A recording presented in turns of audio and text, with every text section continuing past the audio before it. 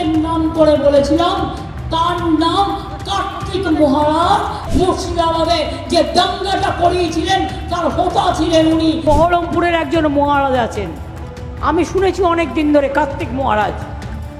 ভারত সেবা সংঘকে আমি খুব শ্রদ্ধা করতাম। কিন্তু যে লোকটা বলে আমি তৃণমূল কংগ্রেসকে এজেন্ট বসতে দেবো না, সে লোকটাকে আমি সাধু বলে মনে করি না।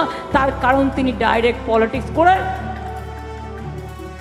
দেশটার সর্বনাশ করছেন। আমি রামকৃষ্ণ মিশনের বিরুদ্ধে নই, আমি কেন একটা ইনস্টিটিউশনের বিরুদ্ধে হব? আর আমি অসম্মানী বা কেন করব? আমি তো কয়েকদিন আগে মহারাজ অসুস্থ ছিলেন, তাকে দেখতে গিয়েছিলাম। সেটা নয়, আমি বলেছি দু একজনের কথা। আমি আজ নয়, সাগরে, গঙ্গাসাগরে, ভারত সেবা সৎসঙ্গের অফিস আছে, আশ্রম আছে। ওরা এত ভালো, ওরা সত্যি আমাকে খুব ভালোবাসে এবং মানুষের কাজ করে। আমি একটি লোকের নাম করে বলেছিলাম, তার নাম কার্তিক মহারাজ।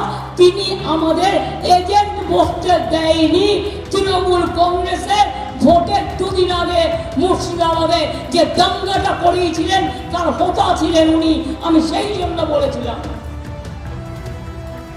এবং বলে যাব, আগে অধীন করতেন, এখন বিজেপি করেন। মুর্শিদাবাদে মনে রাখবেন যে জায়গাটায় রেজিনগরে ইলেকশনের দুদিন আগে দাঙ্গা করেছিল, সেইখানটায় ওনার আশ্রম, উনি আশ্রম চালান আমার কোনো আপত্তি নেই। কিন্তু রিয়েলি, আমি যখন জিজ্ঞেস করলাম, ওখানে তৃণমূলের এজেন্ট নেই কেন?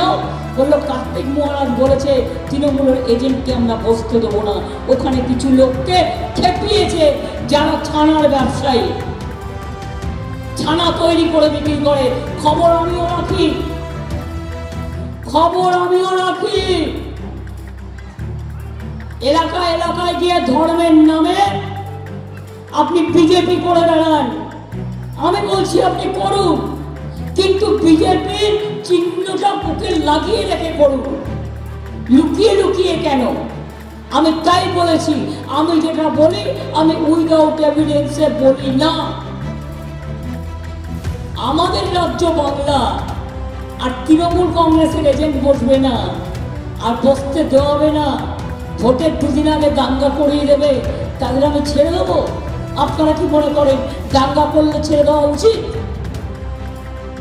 মন্দির ভাঙলে ছেড়ে দেওয়া উচিত? না মসজিদ ভাঙলে ছেড়ে দেওয়া উচিত?